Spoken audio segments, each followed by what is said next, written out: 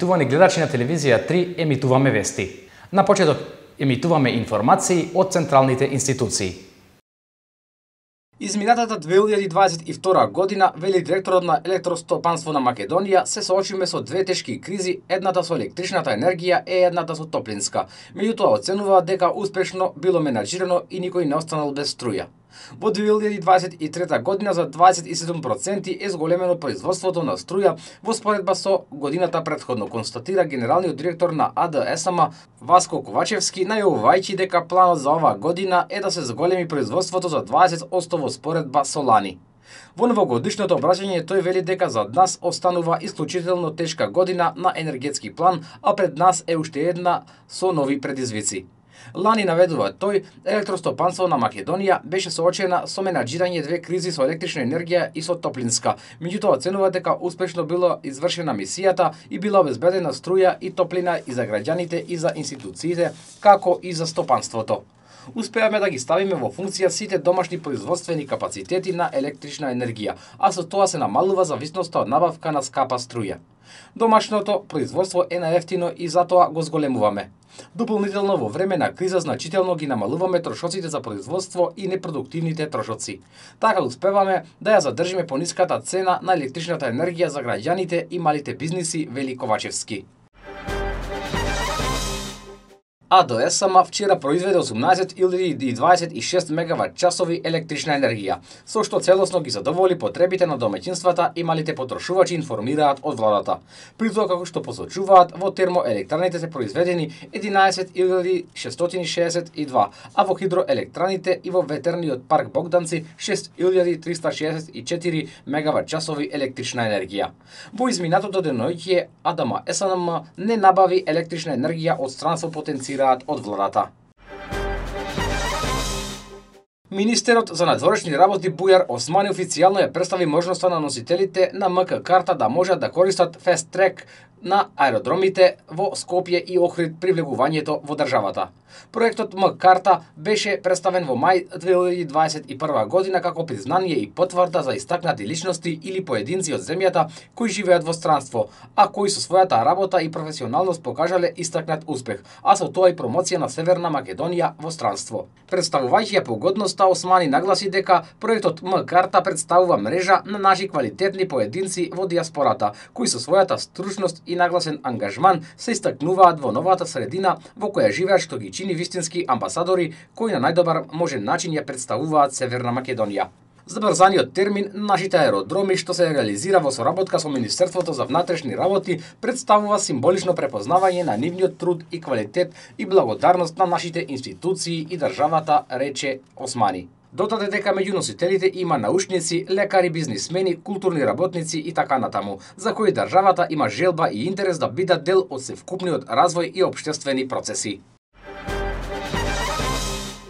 2022 година беше година на предизвици и справување со последиците од глобалната економска и енергетска криза благодарение на навремените и ефикасни мерки преземени од владата предводена од Социјалдемократскиот сојуз на Македонија, успеавме да го заштитиме животниот стандард на граѓаните и да им помогнеме на компаниите, рече на вчерашната пресконференција портпаролката на СДСМ Богданка Кузеска.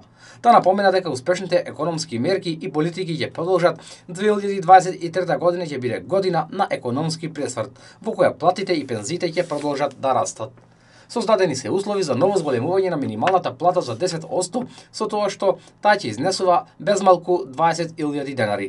Тоа ќе придонесе за усогласување, односно раст на платите во сите сектори. Во буџетот за 2023 година предвидени се 800 милиони евра за капитални инвестиции со што ќе се потикне економскиот раст, кој според проценките на ЕБОР оваа година ќе биде најмалку с 2,3%. Активно се работи на привлекување на странски директни инвестиции кои отвараат ново добро платени работни места, кои ја намалуваат стапката на неработеност, рече Кузеска.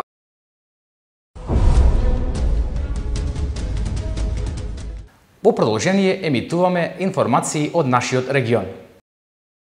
Во текот на 2022 година во општина Дебар се регистрирани 138 нови бракови. Според одговорната во секторот за бракови во општина Дебар Афардита Шаини, минатата година имаше зголемување на бројот на регистрирани нови бракови. Таа вели дека се склучени вкупно 138 бракови, од кои 131 во Дебар и 7 во местната заедница во Джепиште. Според неа има покачување и на склучување на бракови на наши иселеници кои живеат во странство, а кои бракот го склучиле во Дебар. Станува збор за вкупно 50 нови бракови кои се случени помеѓу наши сограѓани кои живеат и работаат во странство. Во текот на 2022 година во градот Дебар видно е подобрена состојбата со водоснабдувањето. Реализирана е првата фаза од проектот за стабилно водоснабдување на Дебар со вода. Во првата фаза се заменети вкупно 68 вентили, половина од нив воздушни вентили, додека другата половина вентили за вода. Според градоначалникот на Дебар Хекуран Дука, првата фаза од проектот е реализирана мощно успешно со што има подобрување на водоснабдувањето за над 20%. За прв пат ова лето што мина, само краток период имаше рестрикции, додека пак во изминатите години рестрикциите беа и до 10 часа во текот на летото. По реализацијата на првата фаза, експертите ќе кажат кои активности ќе бидат презедени со цел да дојде до ново подобрување на водоснабдувањето. Јавното комунално предпријатие Стандард Дебар за прв пат од своето постоење започна наплата на сметките за вода и смет со електронска картичка. Директорот на јавното комунално предпријатие Бурим Каба информираше дека сега се овозможува наплата на сметките на модерен начин и ова представува еден од чекорите преземени од управата во контекст на дигитализирање на услугите и зголемување на ефикасноста и олеснување на услугите. По промената на системот, терминалот за наплаќање ќе му предходи и целосно завршување на дигитализацијата, за што се работи може напорно, вели директорот Каба.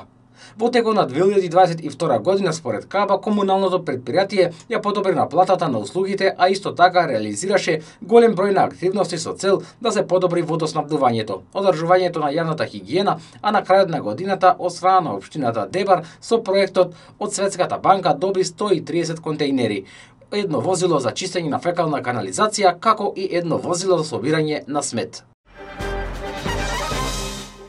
Карате клубот Дибра, кој беше формиран во 2022 година, имаше мощна успешна година. На новогодишната седба што ја одржа клубот беше истакнато дека минатата година беше година на големи победи. Првиот човек на клубот Дурин Пачуку истакна дека Сара Дука, каратистка на клубот, учествуваше на светското првенство во карате.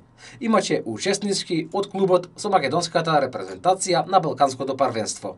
Ера Коджа освои златен медал на Балканското парвенство, освоен е уште еден медал на Балканското парвенство. Голем беше бројот на успеси на домашни и меѓународни надпревари, вели Пачуку. Во февруари оваа година, членови на клубот Дибра ќе учествуваат на Европското парвенство во карате во Кипар.